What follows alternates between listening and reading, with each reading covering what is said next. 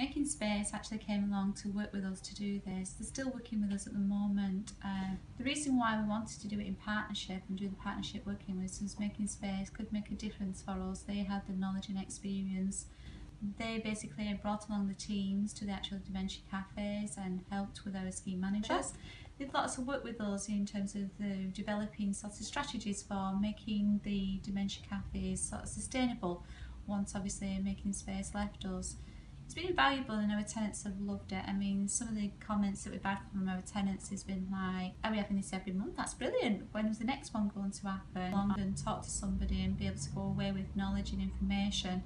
Um, and that's why we're trying to roll it out to even more of our cafes.